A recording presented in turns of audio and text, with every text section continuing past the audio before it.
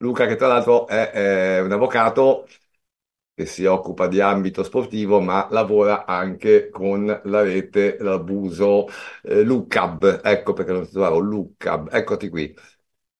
Guarda un po', Luca, dovrebbe chiederti di aprire il microfono. Eccoti Grazie qua, buongiorno, Francesco, ciao. grazie, ringrazio tutti i presenti eh, per gli interventi che sono stati interessantissimi, molto interessanti. Io sono avvocato da 35 anni, mi occupo di penale, ho fatto, ho praticato purtroppo, ed è una cosa per me dolorosissima, è stata eh, tutelare vittime di abusi, specialmente minori, sentire i loro racconti, sentire i racconti delle famiglie, ed è una cosa che ho vissuto e che quindi sono, ho deciso di impegnarmi.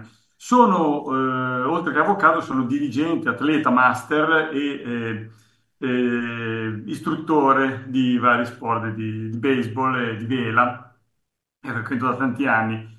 E, mh, sono stato nominato responsabile safeguarding perché eh, da ultimo, e lo- mi collego a quello che diceva il dottor Barone, vi è una normativa, è stata introdotta una normativa di tutela contro gli abusi, di cui parlava il dottor Barone molto, molto efficacemente, e contro soprattutto gli abusi sessuali.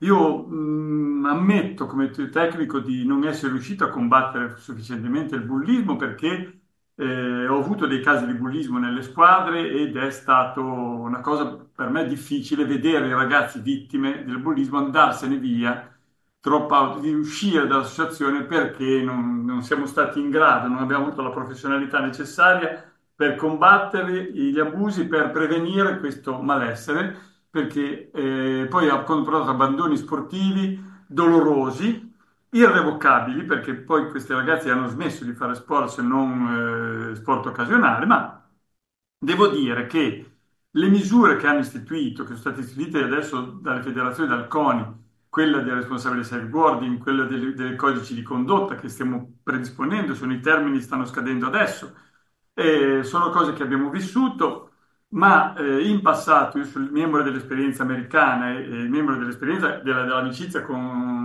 con Francesco, io avevo portato i protocolli severi delle associazioni americane che erano vittime a loro volta di, di- di- di avventure, di, problematiche di bullismo e di eh, abusi sessuali per- negli anni successivi, negli anni precedenti e abbiamo, ho introdotto un protocollo rigido, specialmente delle modalità di approccio degli allenatori, dei dirigenti, dei responsabili con i bambini.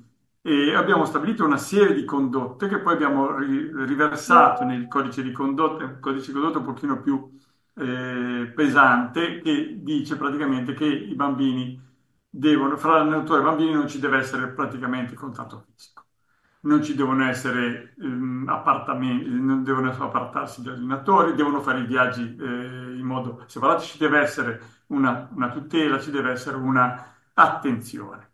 L'ambiente vuole essere pulito e questo si nota dalla severità, dottor Baroni, con la quale eh, e la frequenza con la quale le corti di giustizia sportiva sanzionano gli abusatori. Io ho letto le, eh, le sentenze della Corte di giustizia del calcio, della Federazione del Calcio, e ho visto una grande severità.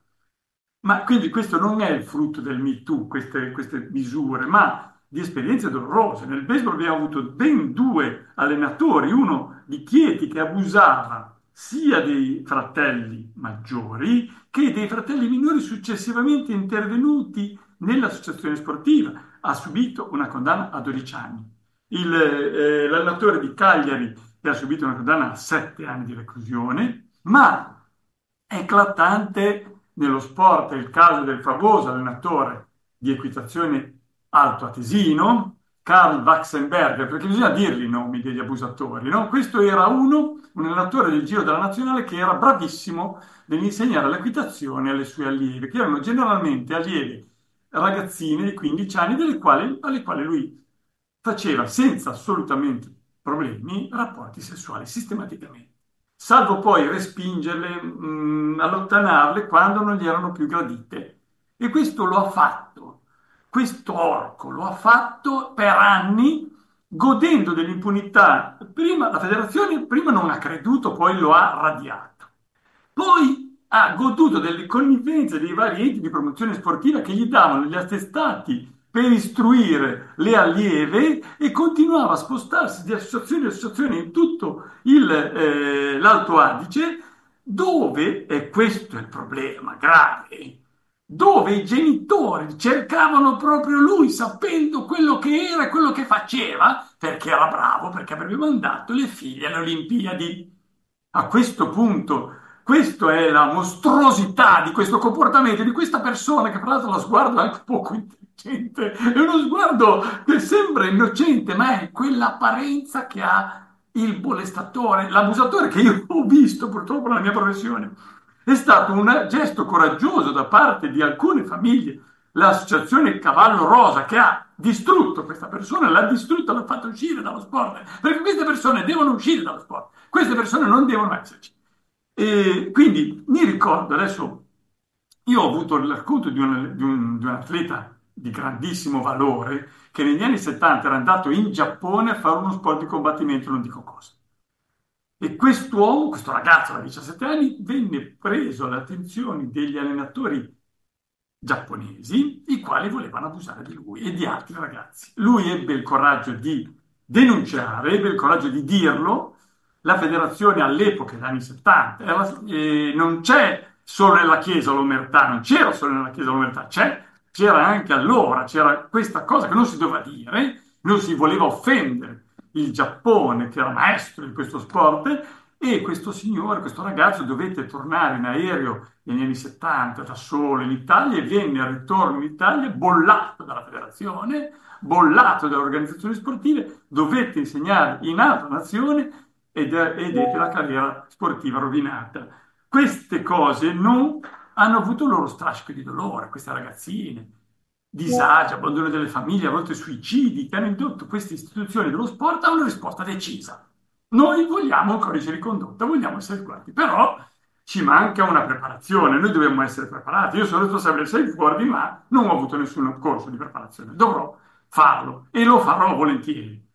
Perché deve cambiare, oltre alle regole, deve cambiare anche la mentalità, ci vuole un deciso cambio di mentalità, perché non solo da parte degli allenatori, di noi allenatori, io genitore, noi allenatori, ma anche dei genitori, soprattutto perché un genitore assente, che non ascolta, non sa ascoltare il figlio, e quindi collega quello che ha detto il dottor Tulli, la dottoressa Tanda, la dottoressa Puligheddu, la dottoressa Paganini. Un genitore assente che non ascolta, non sa ascoltare il figlio, oppure lontano, con una lontananza non solo fisica, ma che sottovaluta, non è il caso di conoscere, può, di capire può essere decisivo per la scelta di un predatore, di un abusatore, perché l'abusatore sceglie le vittime che gli sono più congeniali, quelle che non parlano.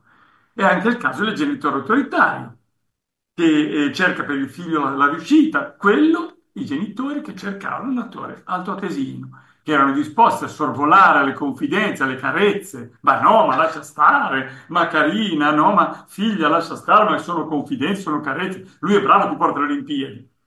Fa niente se queste ragazze reagivano alle sollecitazioni dei genitori con ostinati silenzi. Queste ragazze sono diventate donne. Io ho conosciuto, io ho una ragazza, una ragazzina, mia eh, cliente, che a 12 anni è stata abusata eh, da un cugino della madre a distanza, adesso ha 32 anni, mi ha detto a sua madre se è sporca. Se Luca, ti tocco il tempo, scusami. Finisco.